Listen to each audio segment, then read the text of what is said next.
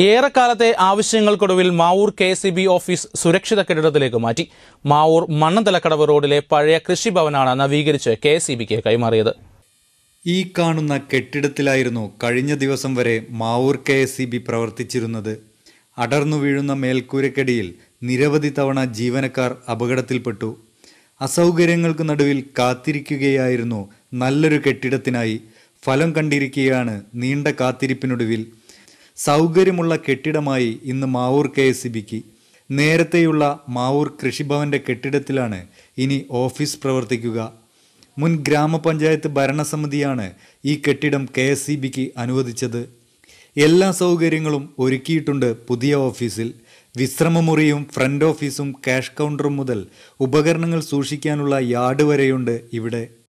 ഈ കോവിഡ് പോലുള്ള സമയത്തൊക്കെ നമുക്ക് സാമൂഹ്യ അകലം പാലിക്കുന്നതിനൊക്കെ ഇവിടെ ധാരാളം പരിമിതികൾ ഉണ്ടായിരുന്നു.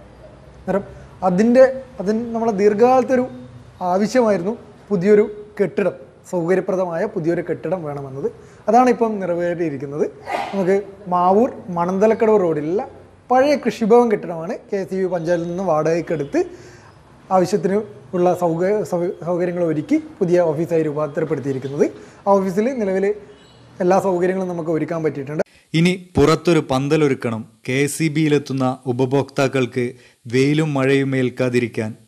അതും കൂടെ വരുന്നതോടെ മികച്ച സൗകര്യമുള്ള കെ എസ് സി ബി ഓഫീസുകളിൽ ഒന്നാകും മാവൂരിലേത്.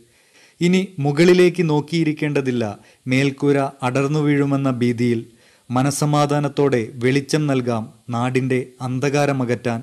സി ടി വി പ്രാദേശിക വാർത്തകൾക്ക് വേണ്ടി രജിത് മാവൂർ.